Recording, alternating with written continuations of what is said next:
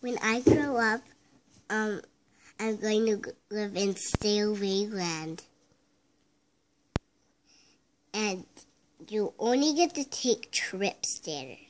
You never ever get to come back only if you're going to visit your family or take a trip Why is it called Stay Away Land?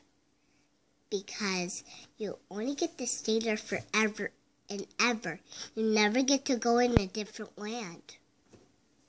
Why it's called Stay Away Land? Because you stay away from your family Mom, and you never get to see them. Mommy, only I'm if you're going going to- to take a trip. Mom, Why would I'm you move going there? to I'm going to go to Day Away Land too.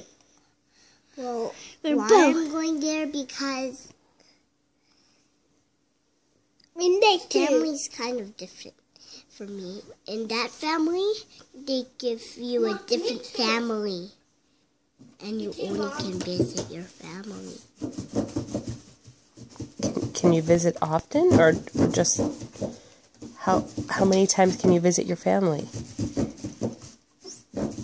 Ten times.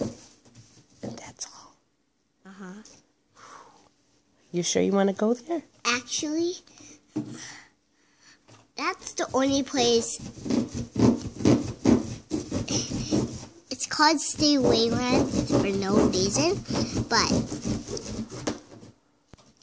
it's a place. It's a fun place, and it has so many things. It's like Disneyland.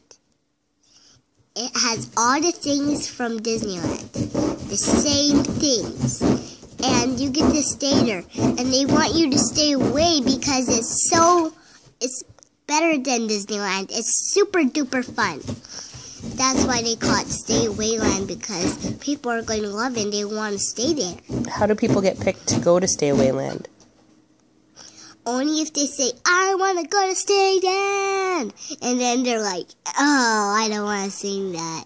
And so, Can I move to Stay Away Land? yes, with me. Both of us are It lets it lets your family go with you or not your family go with you. Oh, I thought you were just going to go to Stay Away Land and leave all of us here. Well, I'm going to miss all of you, so I want to bring you there. And I need to get my car.